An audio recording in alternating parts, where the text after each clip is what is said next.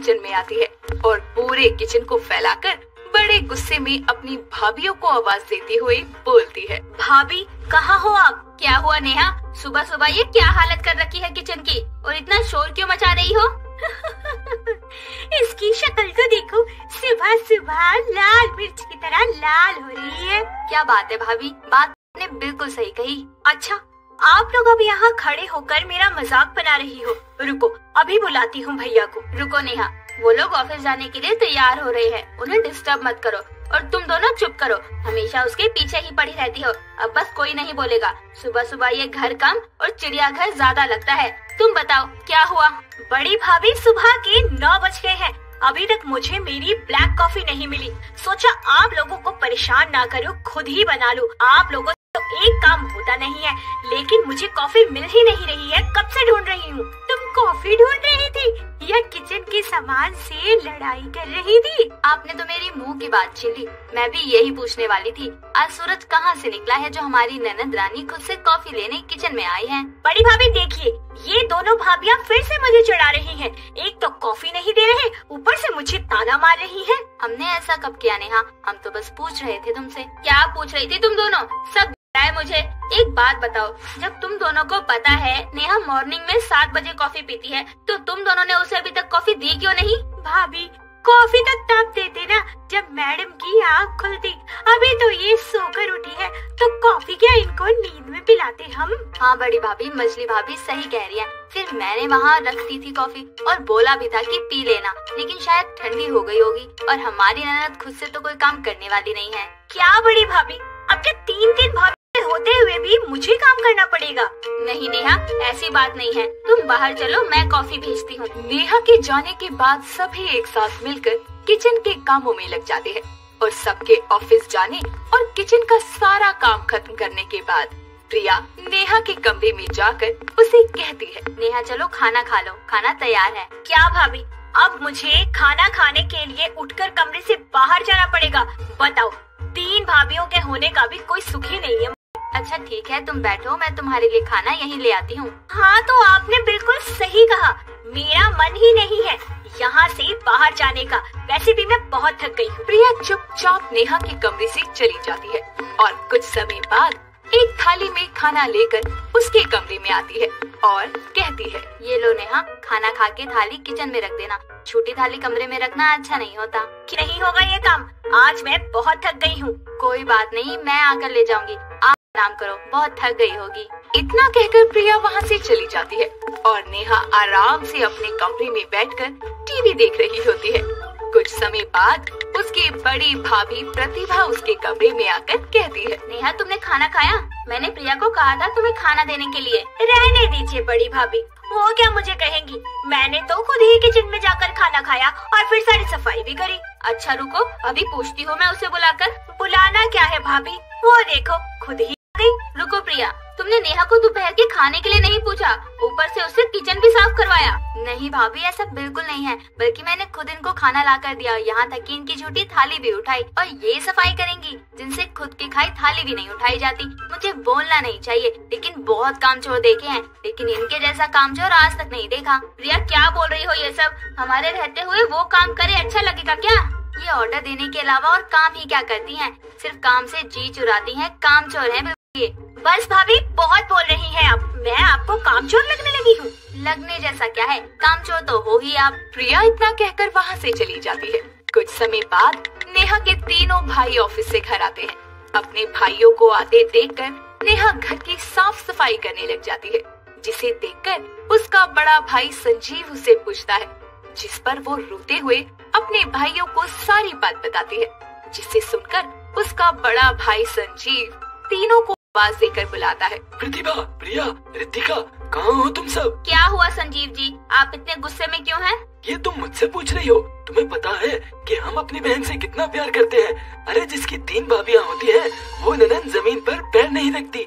और तुम लोग मेरी बहन से इतना काम करवाती हो। अभी भी वो घर की सफ़ाई में ही लगी थी। ऐसा नहीं है। हम में से किसी ने भी उसको काम के लिए नहीं बोला। और सफ़ाई तो हो गई है। नेहा तुम ये सब क्यों कर रही हो?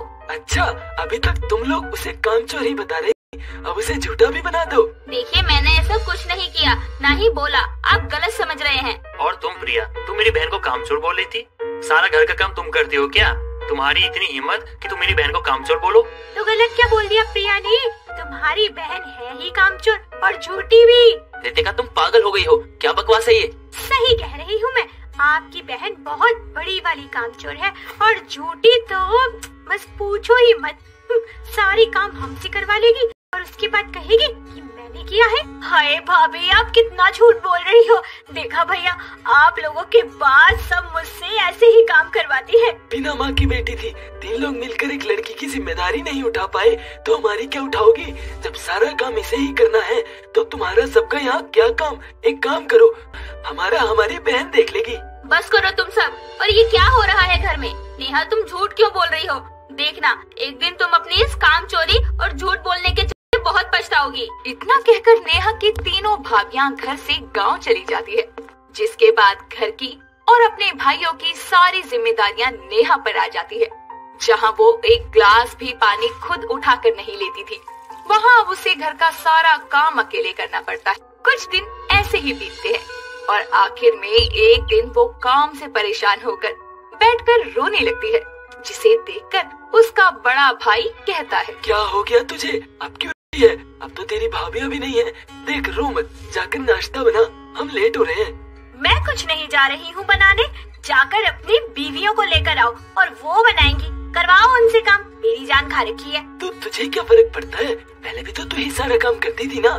तो आज भी कर ले। अब तो तीन लोगों का काम भी कम कर दिया है मैंने तेरे लिए। नहीं भैया भाभीियों के रहते तो मैंने पैर ज़मीन पर भी नहीं रखा। मैंने सब झूठ बोला आप लोगों को ताकि वो मेरी मुट्ठी में रहे। मुझसे हो गई मुझे माफ़ कर दो। मुझे समझ आ गया है कि मैं ही काम चोर हूँ भाभिया नहीं। मुझे पता है शायद तू भूल गई है कि मैं तेरा बड़ा भाई हूँ। मेरे साथ साथ बाकी घर वाले भी तेरी आदतों से अच्छी तरह से वाकिफ हैं। मैंने ये सब इसलिए किया ताकि तुझे महसूस हो कि बड़ी भाभी अभी माँ के समान होती है और तुझे उनकी अहमियत का एहसास हो। अपने बड़े भाई की बात सुनकर उसे अपनी गलती समझ आती है और अपनी भाभीियों के वापस आने पर वो उन सबसे माफ़ी मांगकर खुशी उनके साथ रहने लगती है और काम चोरी भी त्याग देती है। अजय बेहद गुस्से में लाल पीला होकर शीतल से बोलता है यार मुझे नहीं रहना तुम्हारे साथ। बाहर जितनी ठंड नहीं पड़ रही उससे ज़्यादा तो तुम ठंडी हो। कब तक सहूँगा मैं तुम्हारा ये ड्रामा महीना हो गया हमारी शादी को लेकिन तुमने ना एक महीने में मेरे सारे अरमानों को ठंडा कर दिया। बिल्कुल अपनी तरह आखिर ऐसा क्या हुआ है? इन दोनों पति पत्नी के बीच जो एक महीने में शादी टूटने पर बात आ गई। जानने के लिए चलिए कुछ पीछे चलते हैं। दिसंबर की सर्दी की शाम में गोमती बड़े ही आराम से कंबल में बैठी बैठी सर्दियों के मज़े ले रही होती है।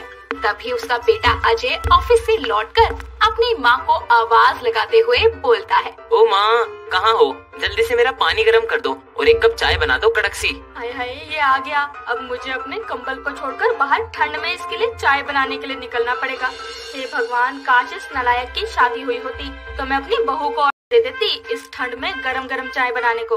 माँ उठ जाओ। इतना आलस मत फैलाओ वरना ठंडा पानी लेकर आऊँगा आपके लिए। आ रही हूँ नलायक। गोमती कंबल से निकलकर अपने बेटे के लिए पानी गरम करके चाय बनाने जाती है।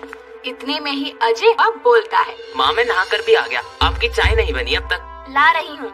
ये ले तेरी चाय। और ये हर बात पर माँ माँ करना अच्छा लगता है क्या तुझे? तो इस घर में आप ही हो तो आपको ही बुलाऊँगा ना माँ? कैसी बात करती हो? वही तो मैं कह रही हूँ। इस घर में मैं अकेली हूँ। अरे अब तो शादी करके मेरे लिए बहू ला दे ताकि मुझे इन सर्दियों में काम करने से छुटकारा मिल जाए। अच्छा तो गर्मी आने पर बहू को वापस भेज दोगी क्या? तुझे मेरी बातें मज़ाक ही लगती हैं। कभी अपनी माँ को सीरियस भी ले लिया कर। ठीक है बाबा ढूंढ लो लड़की कर लूँगा शादी।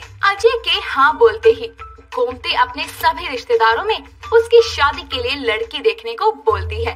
तभी उसको उसकी दूर की मौसी अजय के लिए शीतल नाम की लड़की का रिश्ता भेजती है। शीतल की तस्वीर देख के। दोनों माँ बेटी बात को पक्का कर देते हैं और अगले ही हफ़्ते में दोनों की शादी भी हो जाती है।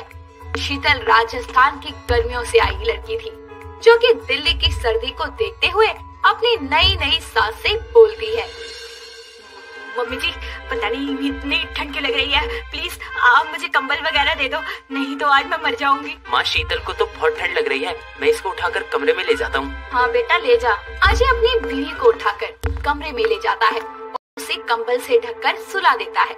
ये सब देखकर गोमती अपने बेटे से बोलती है बेटा मैंने तो सोचा था ठंड में बहू से काम करवाऊँगी ताकि मुझे आराम मिले पर ये तो इस ठंडी में भी ठंड जैसी है। माँ आपको काम की पड़ी है। बेचारी को इतनी ठंड लग गई आते ही आप उसके लिए गरम गरम दूध दे दो। हाँ हाँ बेटा लाती हूँ। गोमती अपनी बहू के लिए गर्मा गर्म दूध देती है जिसके बाद वो भी अपने कमरे में आराम करने चली जाती है। अगली सुबह वो अपने कमरे से ही अपनी नई बहू को आवाज़ लगाते हुए बोलती है। बहू ओ शीतल बहू जरा मेरे लिए एक सुबह की चाय ले आ। ल, ल, ल, लाई माँ जी शीतल अपने कमरे से कंबल ओढ़कर ही रसोई में जाती है जहाँ उसको गैस के पास जाकर बहुत अच्छा लगता है। फिर वो अपनी सास के लिए चाय बना देती है और कंबल में ठिठुरती हुई उसके पास चाय लेकर जाती है। ये देखकर गोमती चाय लेकर उससे बोलती है बहू अगर तू ऐसे ठंड में कांपती रहेगी तो घर के काम कैसे करेगी? हमारे राजस्थान में ठंड ना हो यहाँ तो इतनी ठंड है कि मुझे अंदर तक ठंडा कर दिया। अरे, मेरी ठंड में ठंडी बहू, खुद को थोड़ा गर्म कर और नाश्ता बना। अजय को काम पर जाना है। ठीक है, माँ जी, बनाती हूँ। शीतल किसी तरह अपनी सास और पति के लिए नाश्ता बनाती है, जिसके बाद अजय नाश्ता करके काम के लिए निकल जाता है, जहाँ उसे एक राघव नाम का दोस्त बोलता है। भाई भाई, तेरी शादी को एक दिन हुआ है और तू काम पर आ गया। अरे, भाभी के साथ इस सर्दी को एंजॉय करना, हर किसी की इन सर्दियों में नहीं होती तेरी तो हुई है तू लकी है। भाई ये सर्दी तो मुसीबत बन गई। अरे मेरी बीवी बर्फ़ की तरह ठंडी है। मतलब उसको इतनी ठंड लगती है पूछ ही मत। तुमसे गर्म करे बक साले इतने अच्छे मौसम को ऐसे ही जाया कर रहा है। राघव की बातों से अजय के सोए हुए जज्बात भी जाग जाते हैं। इसीलिए वो उस शाम अपनी बीवी को इम्प्रेस करने के लिए और अपने रोमांस को बढ़ाने के लिए उसके लिए गुलाब का फूल लेकर जाता है। और वो जैसे ही घर पहुँचता है तो शीतल को आवाज़ लगाकर बोलता है। शीतल तुम इतना काँप क्यों रही हो? अजय जी इतनी ठंड में काबूँगी नहीं तो क्या करूँगी? अच्छा सुनो मुझे खाना नहीं खाना तो तुम माँ को खाना खिलाकर जल्दी कमरे में आना। ठीक ठीक है अजय जी। शीतल खाना बनाने में लग जाती है तो अजय अपने कमरे को अपनी शादी के बाद की पहली रात के लिए सजाता है। वैसे तो ये उसकी शादी की दूसरी रात थी लेकिन उसके लिए तो पहली थी। वो पूरे कमरे को फूलों से सजा देता है जिसके कुछ देर बाद शीतल अपनी सास को खाना खिलाकर कंबल में लिपटी हुई कमरे में आती है और सजावट देखकर बोलती है ये आपने क्या किया? सारे बेड पर फूल फूल गिरा दिए। तुमको इन फूलों को देखकर कुछ महसूस नहीं हो रहा? हाँ हाँ हो रहा है ना। गंदगी महसूस हो रही है। क्या यार क्या करते हो आप? हटाओ इनको मुझे सोना है। वैसे भी इतनी ठंड लग रही है। सोएँगे सोएँगे। पहले मेरे करीब तो आओ। तुम्हारी सारी ठंड को दूर करता हूँ। अजय शीतल के करीब आकर उसका कंबल हटा देता है जिसके बाद वो अपने ठंडे ठंडे हाथ शीतल के चेहरे पर लगाता है। तभी उसको अचानक से कपकपी छूटती है और वो अजय को धक्का मारकर बोलती है यार क्या कर रहे हो आप? ठंडे ठंडे हाथ लगाकर डिस्टर्ब कर रहे हो।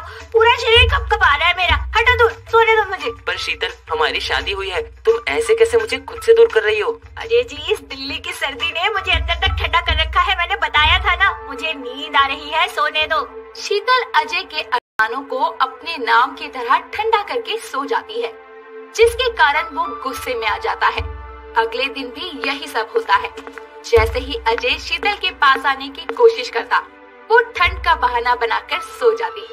एक सुबह गोमती अपने बहू बेटे को बुलाकर बोलती है, बहू और अजय, सुन लो, तुम दोनों की शादी हो गई है तो इस घर में मुझे जल्दी से जल्दी बच्चे की किलकारियाँ सुननी है। दादी बनना है मुझे। दादी तो आप तब बनोगी ना, जब ये बर्फ़ की दुकान मुझे कुछ देगी। अरे बर्फ़ से ज़्यादा ठंडी है ये। इसके कारण मेरे अरमान भी ठंडे हो जाते हैं। ओए नालायक सुनाई दिया या नहीं? माँ मुझे समझाने से अच्छा आप अपनी बहू को समझाओ। मैं चला ऑफ़िस अजय अपने ऑफ़िस चला जाता है जहाँ उसका दोस्त राघव उससे फिर पंगे लेने लगता है जिसके कारण अजय का दिमाग और ज़्यादा गर्म हो जाता है। ऐसे ही पूरा एक महीना गुजर जाता है और इस ठंड के कारण अब शीतल के जज्बात गर्म हो ही नहीं सकते थे।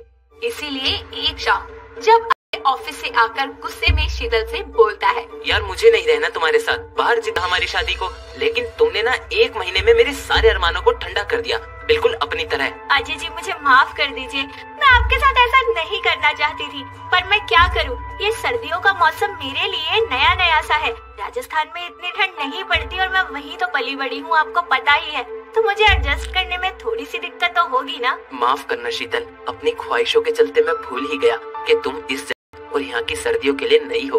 मुझे माफ़ कर दो। मैंने तुम पर इतना गुस्सा किया। कोई बात नहीं। इसमें आपकी कोई गलती नहीं है।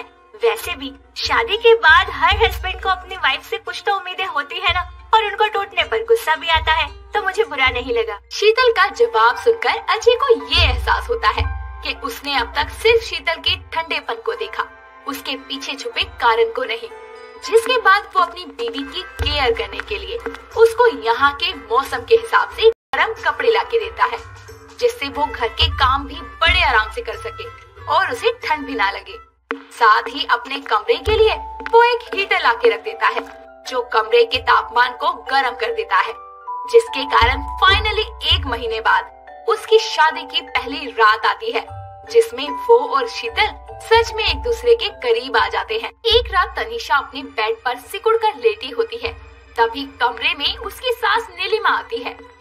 उसे ऐसे ठंड से कांपता हुआ देखकर उसके पति दानिश को बुलाती है जिसके बाद वो उसके सर पर हाथ रखकर बोलता है हे भगवान इसका सर तो बहुत गर्म हो रहा है। लगता है ठंड की वजह से इसे तेज बुखार हो गया है। माँ मैं इसके लिए कंबल लेकर आता हूँ अभी। हाँ हाँ बेटा जल्दी लेकर आ। अगर इसने मेरी बात मानी होती तो अभी इसकी तबीयत इतनी खराब ना होती। पर नहीं सास की बात भला किस बहू को रास आती है?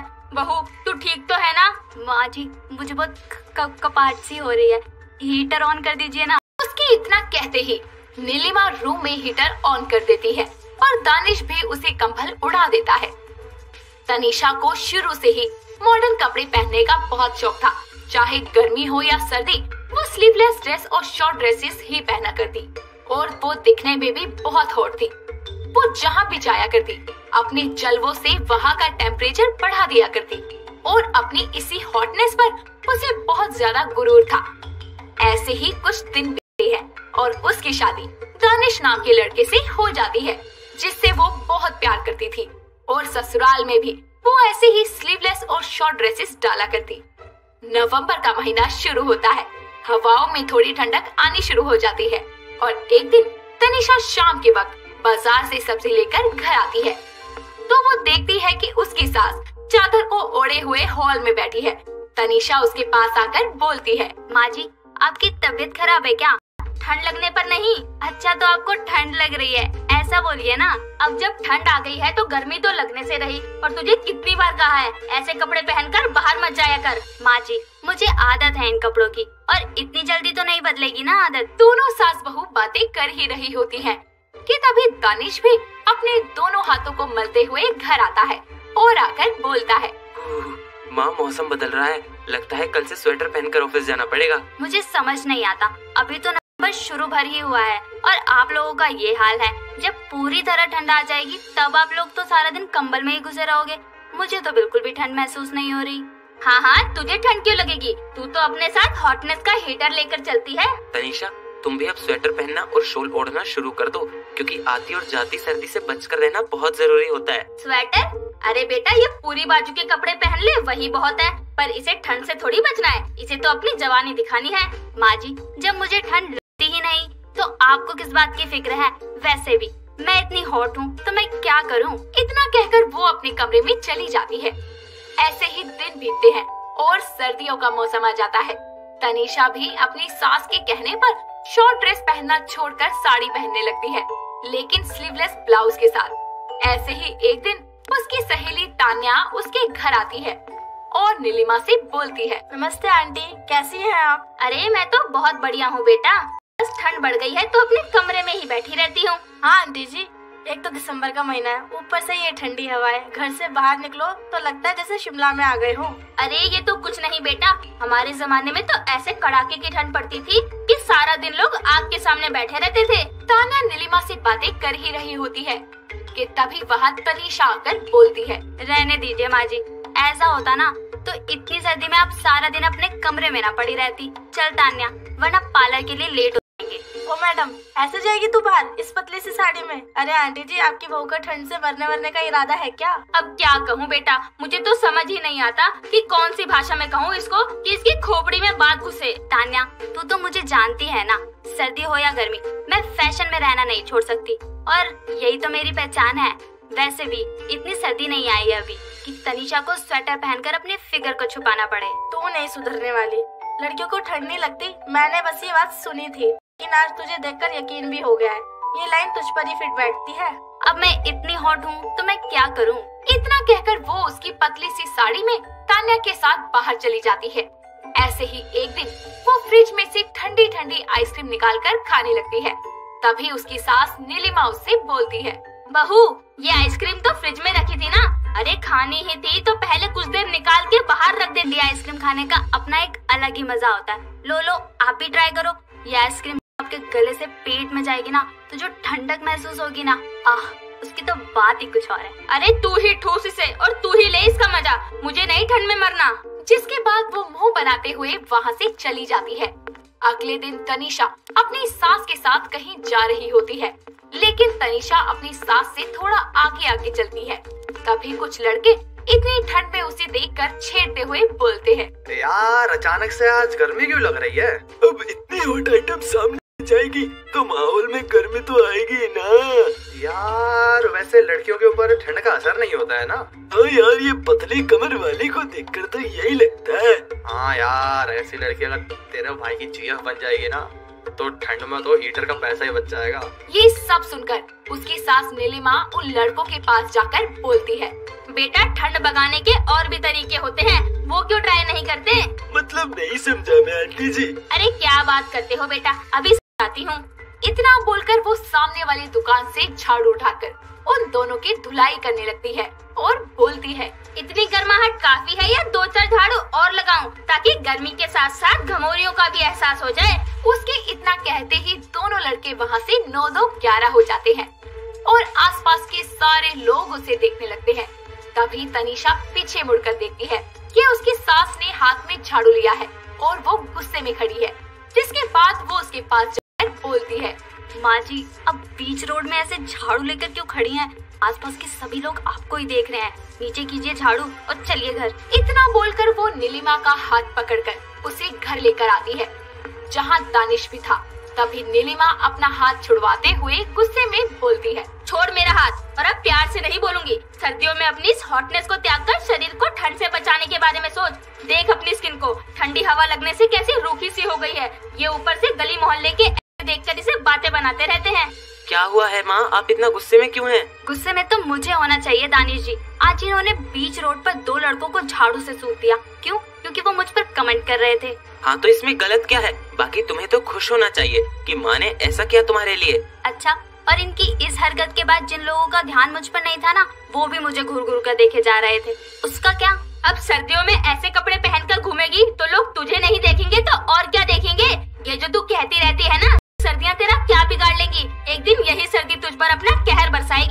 बस माँ जी जो होगा देखा जाएगा। इतना कहकर वो बिना कुछ सुने ही वहाँ से चली जाती है। समय बीतता जाता है और एक दिन सर्दियों के कारण बहुत कोहरा था। तभी तनिषा तान्या से मिलने एक पतली सी शॉल ओढ़कर बाहर जा मौसम देखकर लगता है कि बहुत बारिश होगी। तो कुछ गर्म पहन ले और छतरी भी ले जा। अरे माँ जी आप चिंता मत करो। मैं थोड़ी देर में ही तो घर आ जाऊँगी। जिसके बाद वो अपनी सास की बात माने बिना ही चली जाती है। कुछ देर बाद जब वो घर वापस आ रही होती है तो ठंडी हवाओं के साथ हल्की बारिश होने लगती है और वो बारिश में भीग जाती है, साथ ही कांपते हुए घर आती है। उसे ऐसे कांपता हुआ देखकर उसकी सास उसे तोलिया ला कर देती है, जिसके बाद तनीषा अपने कमरे में जाकर कपड़े चेंज करके सो जाती है। दानिश उसे कंबल उड़ाकर डॉक्टर को कॉल करता है और कुछ देर में डॉक्टर उसे चेक करके बोलती है, इतनी ठंड भीगने के कारण सर्दी से इन्हें हाई फीवर हो गया है।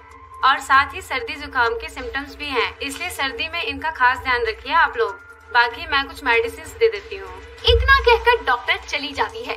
जिसके बाद नीलिमा कहती है, देखा बहू, ठंडी को हल्के में लेने का नतीजा। अब नहीं कहेगी माँ जी मैं बहुत हॉट हूँ, मैं क्या करूँ? नहीं माँ जी मैं समझ चुकी हूँ कि हर चीज़ की हद होती है। और फ़ैशन के चक्कर में हमें खुद को नुकसान नहीं पहुँचाना चाहिए।